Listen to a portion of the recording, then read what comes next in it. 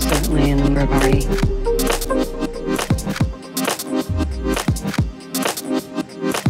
I'm certainly a number party.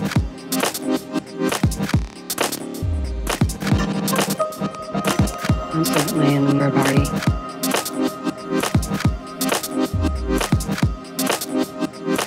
I'm certainly a number party.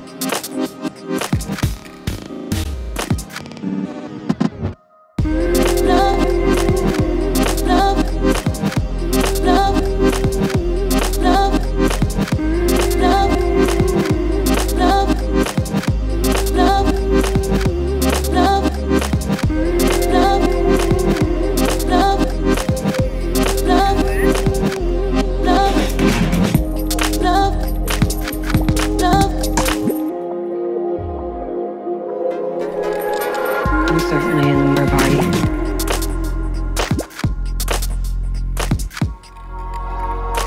Oh my mom and I would be so pleased if you said X to stay with us at the...